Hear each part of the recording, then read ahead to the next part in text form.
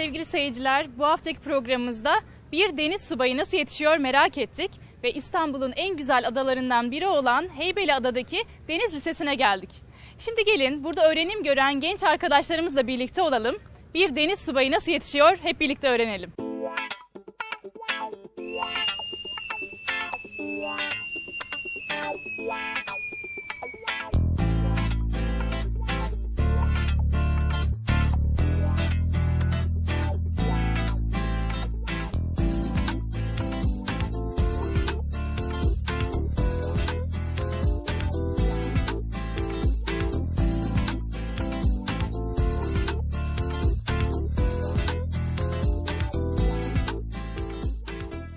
Deniz Lisesi her sabah kalk borusuyla güne başlayan subay adaylarının eğitim aldığı kutsal bir yuva.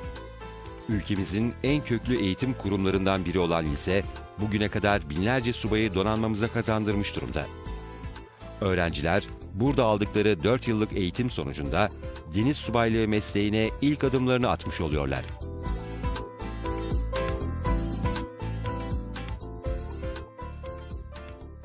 Sevgili seyirciler şu an köklü bir tarihi geçmişe sahip ve bundan haklı olarak gurur duyan Deniz Lisesi'ndeyiz.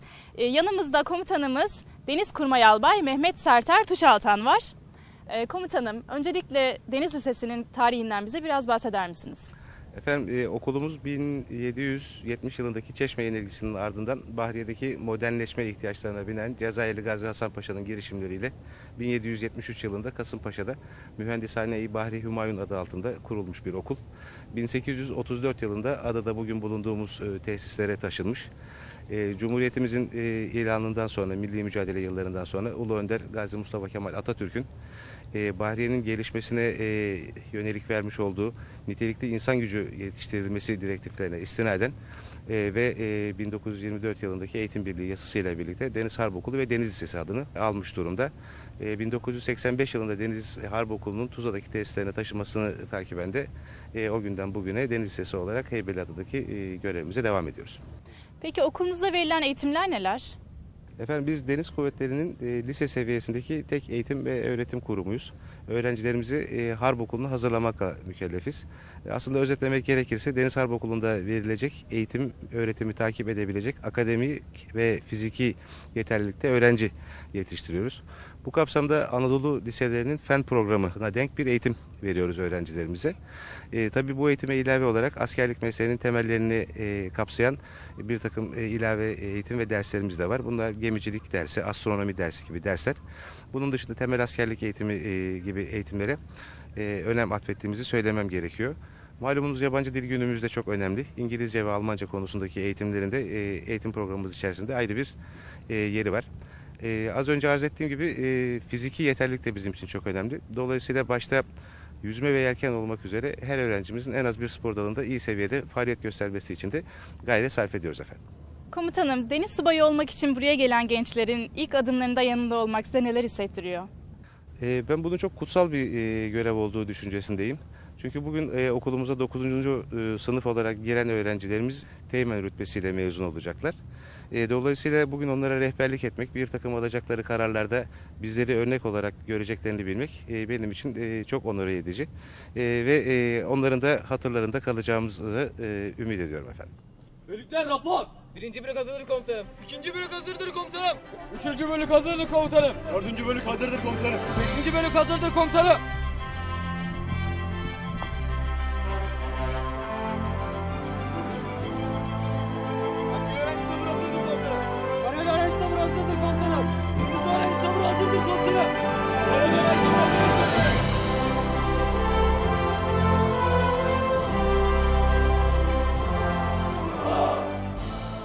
Deniz Lisesi'nde günlük yaşam saat 6.30'da çalan kalk borusuyla başlıyor. Temizlik ve kahvaltılarını yapan öğrenciler sonrasında sabah etüdü için dershanelerdeki yerlerini alıyorlar. Derslerse günde 6 ile 8 saat arasında gerçekleştiriliyor. Fen programına bağlı olarak yapılan bu derslerin süresi 40 dakika.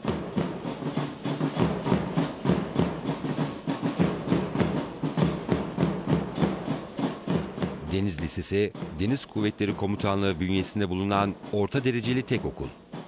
Buradan mezun olan öğrenciler sınavsız geçiş yaparak eğitimlerini Deniz Harp Okulu'nda sürdürüyorlar. Yani subaylık mesleğinin temelleri bu lisede atılmakta. Bu yüzden de okulda verilen eğitim çok önemli.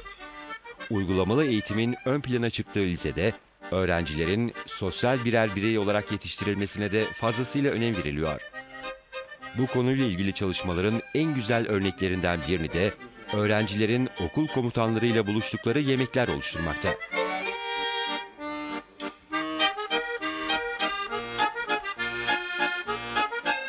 Deniz Lisesi'nde verilen eğitimin kalitesi kendini dil derslerinde de göstermekte. Öğrenciler verilen Türkçe dersleriyle öncelikle ana dillerini doğru kullanan, bu dil aracılığıyla doğru iletişim kurabilen birer birey olarak yetiştirilmekte. Uluslararası sularda görev yapmanın ve Türk Silahlı Kuvvetleri'ne yurt dışında en iyi şekilde temsil edebilmenin birincil şartı ise yabancı dile sahip olmak. Öğrencilerin bu ihtiyacını karşılamak Deniz Lisesi'nin görevi. Burada eğitimi verilen diller İngilizce ve Almanca. Uzman öğretim elemanlarının verdiği bu dersler, öğrencilerin maksimum katılımını sağlamak amacıyla dil laboratuvarlarıyla destekleniyor. Sevgili seyirciler şu an hem görsel hem işitsel anlamda çok güzel bir 11. sınıf İngilizce eğitimine katıldım. Şimdi bir arkadaşımızla sohbet etmek istiyorum. Seni tanıyabilir miyiz? 11. sınıf öğrencisi Ö- Ömer Faruk Çalışkan. Ee, Burada almış olduğunuz eğitimlerden bize biraz bahseder misin? Evet, e, günümüzde İngilizcenin dünyada kabul gören bir dil olduğunu ve uluslararası anlamda geçerli bir dil olduğunu biliyoruz. Bizler de ileride bulunacağımız yurt dışı faaliyetlerinde İngilizceyi etkin bir şekilde kullanabilmemiz gerekiyor. Bu yüzden burada e, üstün bir İngilizce eğitimi alıyoruz. Eğitimlerimiz sadece teorik değil, pratik ağırlıklı da oluyor. E, laboratuvarda görsel derslerimiz oluyor, yarışmalar yapıyoruz, dizi izliyoruz. E, okuma derslerimiz oluyor, İngilizce kitap okuma dersleri alıyoruz. E, haftalık yazı ödevleri veriliyor. Gayet üst düzey bir eğitim alıyoruz. Deniz bulunmaktan bu yüzden gayet gururlu ve mutluyum.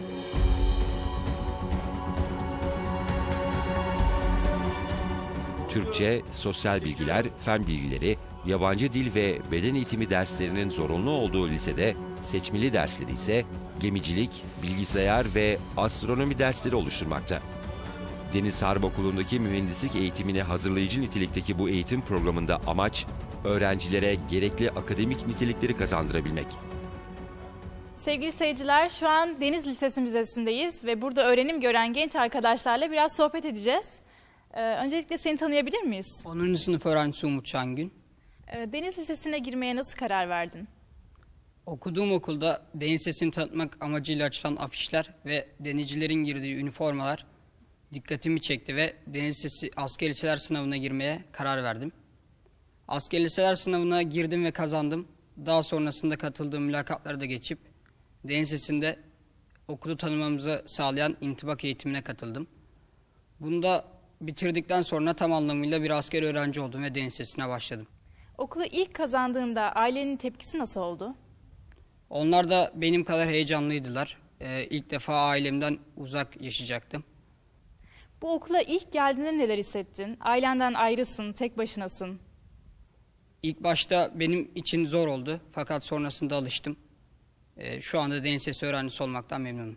Sizi tanıyabilir miyiz? 11. sınıf öğrencisi Turgay Yıldız. Okulunuzda gerçekleştirilen sosyal aktiviteler neler? Sizin özel olarak ilgilendiğiniz bir alan var mı? Tiyatro, konser, sinema faaliyetlerinin yanı sıra okulumuzda takımlar ve eğitsel kollar bulunmaktadır. Ben de bu takımların birinde e, görev almaktayım. Yüzme takımındayım.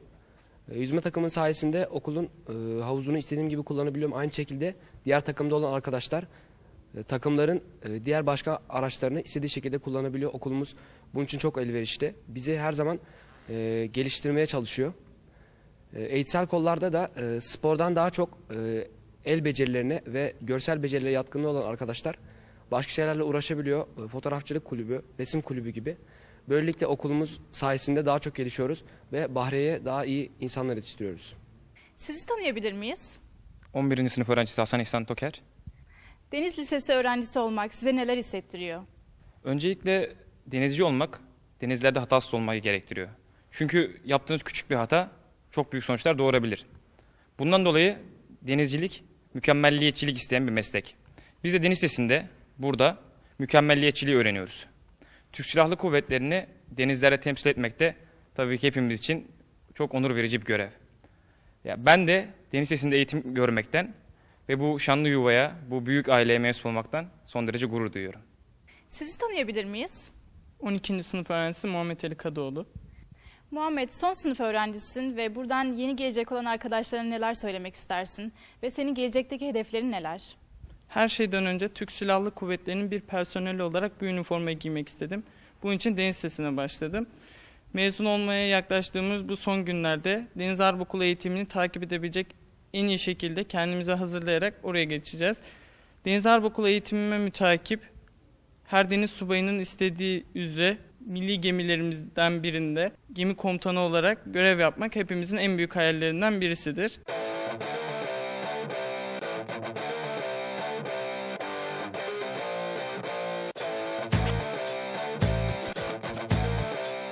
Deniz Lisesi'nde üzerinde en çok durulan konulardan biri de spor. Burada öğrencilere devamlılık arz edecek ve ilerleyen yıllarda kaybolmayacak bir spor yapma bilinci aşılanıyor. Okulun sahip olduğu modern spor tesisleri ise bu amaçla öğrencilerin hizmetine sunulmuş durumda. Sevgili seyirciler, Deniz Lisesi müzik kolunun e, çalışması varmış şimdi. Ben de opera öğrencisiyim ve onlarla birlikte şarkı söylemek istiyorum. Bakalım neler çıkacak. Arkadaşlar merhaba. Merhaba. Ee, şimdi ne gibi çalışmalar yapacaksınız? Biraz bahseder misiniz bana bundan?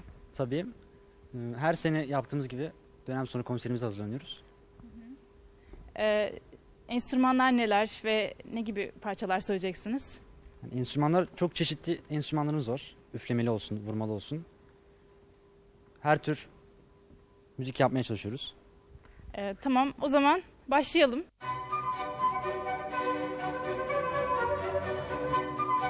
Deniz Lisesi'nde kültür ve sanat artık bir yaşam biçimi olmuş. Subay adayları yazma, şiir okuma, müzik gibi dallarda titizlikle yetiştirilmekte. Böylece modern yaşama özgü her türlü etkinliğe doğrudan katılabilecek kişiler haline gelen öğrenciler, ayrıca birçok etkinlikte okullarını temsil ederek geleceğe hazırlanmış oluyorlar. Bunun güzel bir örneğini şimdi hep birlikte dinleyelim.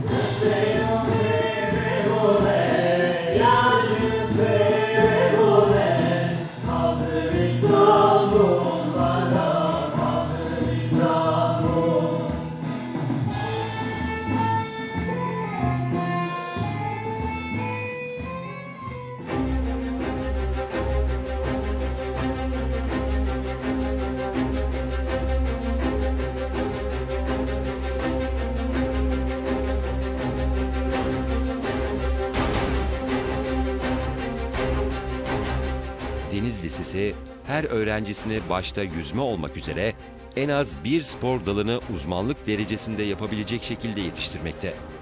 Öyle ki okul tesislerinde tenis, futbol, boks, atletizm ve voleybol gibi farklı spor dallarıyla uğraşan birçok subay adayı görebilirsiniz. Lisede yüzmeye verilen önemin nedeni ise aslında ortada. Onlar geleceğin denizcileri ve hepsi iyi derecede yüzme bilmek zorunda. Sevgili seyirciler, Deniz Lisesi'nin en önemli özelliklerinden birisi de yüzmedeki başarıları. Ee, şimdi yüzme takım kaptanı İsmail Cihat İkiz'le bir röportaj yapacağız. Kendisi şu an antrenmanda ve bekleyelim. İsmail merhaba. Yüzme sporuyla ilgilenmeye nasıl karar verdin ve bir günlük faaliyetlerinizden bize biraz bahseder misin? Tabii yüzme sporu her deniz subayının sahip olması gereken en önemli sporlardan bir tanesi yapabilmesi gereken. Aynı zamanda biz de ileride deniz subayları olarak yüzme sporu bizim için ayrı bir önem arz ediyor. Bu sebepten dolayı yüzme takımına girmeye karar verdim. 12. sınıfa gelince de takım kaptanlığına getirildim. Size faaliyetlerimizden bahsedecek olursam hafta içi her gün yüzme antrenörlerimizle beraber planlı antrenmanlar icra etmekteyiz. Bu antrenmanların bazılarını kondisyon salonunda bazılarını ise yüzme havuzunda yapmaktayız. Bu antrenmanlar sayesinde kendimizi fiziksel anlamda geliştiriyor. Aynı zamanda önümüzdeki müsabakalara hazırlanmış oluyoruz. Ee, yüzmeyle ilgilendikten sonra hayatında ne gibi değişiklikler oldu? Sana ne gibi katkıları oldu? Yüzme takımı her şeyden önce benim fiziksel gelişimime katkı, katkısı çok büyük. Aynı zamanda yüzme takımı bana kazanma azmi, zorluklara karşı mücadele etme yeteneği, takım ruhu, arkadaşlık, paylaşım, liderlik gibi özellikleri kazandırdı. Yüzme takımında olduğum için çok mutluyum bu açıdan. Ee, peki yüzme takımı olarak katıldığınız musabakalar var mı? Tabii ki var. Son iki yıldır askeri liseler müsabaka düzenleniyor. Liseler arasında yüzme yarışları. Son iki yıldır şampiyon oluyoruz. Bu yıl, bu yılda şampiyon olarak Genelkurmay Başkanlığı kupasını Deniz Sesi Müzemize kazandırmayı hedefliyoruz. Ayrıca iki yıldır Deniz Harp Okulu'nda düzenlenen uluslararası organizasyonlara katılıyoruz. Bu organizasyonlar tabii ki yüzmeyle ilgili yine. Yarışıyoruz ve güzel dereceler elde ediyoruz. Aynı zamanda geçen yıl Deniz Sesi'nden dört tane arkadaşımız Türk Silahlı Kuvvetleri'nin faydalı yüzme ve hayat kurtarma branşında milli takıma kazandı ve İsviçre'de düzenlenen yarışlarda ülkemizi temsil ettiler.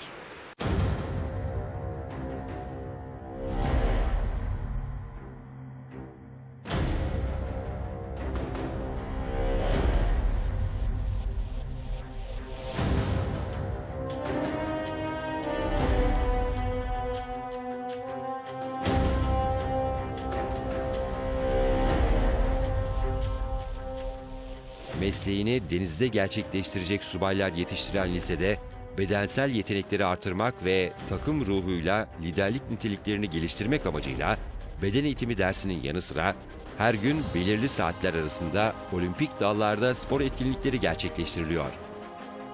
Derslerin ardından hava ve deniz koşulları dikkate alınarak denize çıkarılan öğrenciler yelken, kürek gibi olimpik sporlarla ilgili teorik bilgileri uzman antrenörler gözetiminde uygulamaya çalışarak denizcilik mesleğinin temel bilgi ve becerilerini kazanıyorlar.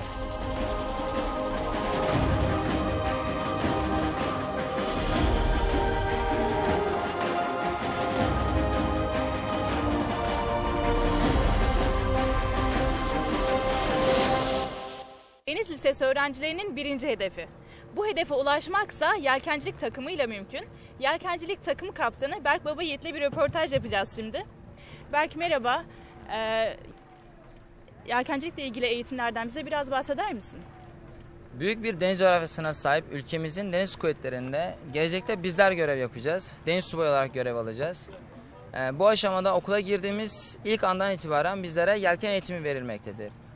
Yelken eğitimleri Optimist adını verdiğimiz tek kişilik tekne sınıflarından başlayıp 6-8 kişilik J80 yatlarına daha sonra 10 kişilik yelkenli filikalara kadar geniş bir yelpazede icra edilmektedir. Ayrıca e, yelkenli tekne eğitimini alan arkadaşlarımız istedikleri takdirde rüzgar sörfü eğitimi de alabilmektedirler. Bu okuldan mezun olan her öğrenci yelken kullanabilmektedir. Peki sen yelkencilikle ilgilenmeye nasıl karar verdin ve senin kişisel gelişimde ne gibi katkıları oldu? Spora olan sevgim ve denize olan ilgim dolayısıyla okulda verilen yelken eğitimleri sayesinde yelken sporu hoşuma gitti. Ee, Bunun üzerine ben de yelken takımına girdim. Bu anlamda kendimi geliştirmeye başladım. Bize kazandırdıklarına gelirsek e, bizler yelken sporcuları denizde tek başlarınadır. Şartlar e, her zaman değişebilir. Değişen şartlara göre hızlı düşünüp hızlı karar verebilmeleri gerekmektedir. Daha sonra bizlere ekip çalışmalarında takım ruhu, yarışlarda mücadele ruhu kazandırmaktadır. Yelken takımı olarak katıldığınız müsabakalar var mı? Bölgesel çapta deniz kuvvetlerimizin ve diğer kulüplerin düzenlemiş olduğu yarışmalara ta- yelken takımı olarak iştirak etmekteyiz. Ee, bu aşamada katıldığımız yarışlarda e, Donanma Kupası yat yarışında yat ekibimiz e, daha sonra aynı kupanın yelken yarışlarında İstanbul Yelken Ligi'nde Marmara Yelken Kupası'nda e, bunun gibi daha birçok e, yarışmada iyi dereceler elde ettik.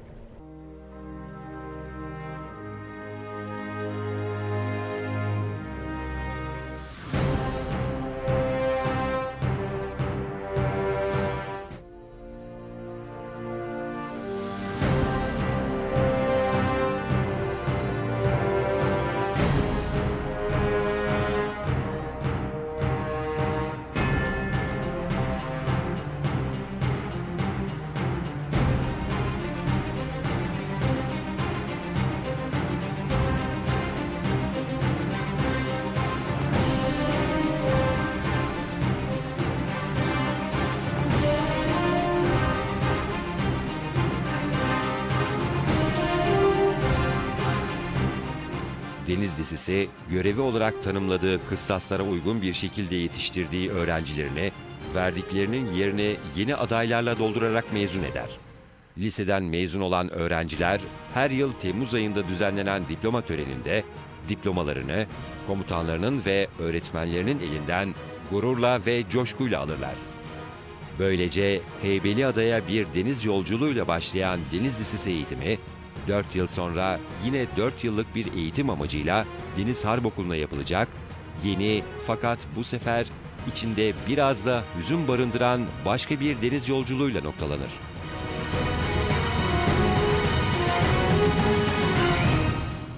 Deniz Lisesi sınavına girip birinci seçim aşamasını başarıyla geçen sevgili gençler.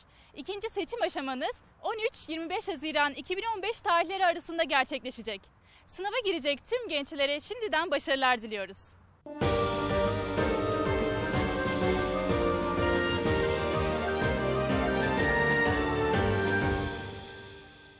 Ve geldik bu haftaki programımızın soru bölümüne. Ama öncesinde geçen haftanın sorusunu hatırlayalım.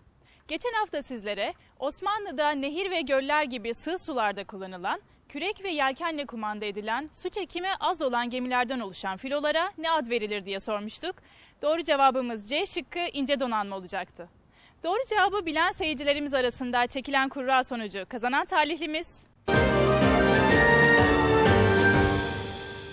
Ve işte bu haftanın Genelkurmay Başkanlığı saat ödüllü sorusu. Çatışmada ölen ya da herhangi bir nedenle hayatını kaybeden erbaş ve erlerin bakmakla yükümlü oldukları yakınlarıyla Gazi ve engelli Mehmetçiklere sosyal ve ekonomik destek sağlamak amacıyla 17 Mayıs 1982 tarihinde kurulmuş olan vakıf hangisidir? A. Türk Silahlı Kuvvetleri Dayanışma Vakfı B. Türk Silahlı Kuvvetleri Mehmetçik Vakfı C. Silahlı Kuvvetler Vakfı D. OYAK Doğru cevabı bilen seyircilerimiz en geç çarşamba gününe kadar ad, soyad, açık adres, kısa özgeçmişleri ve telefon numaralarıyla birlikte Genelkurmay Basın ve Halkla İlişkiler Daire Başkanlığı 0600 Bakanlıklar Ankara adresine veya 0312 419 99 21 numaralı faksa ya da savastabarista.tsk.tr adresine başvurabilirler. Bu haftada bize ayrılan sürenin sonuna geldik. Önümüzdeki hafta tekrar görüşünceye dek hoşçakalın.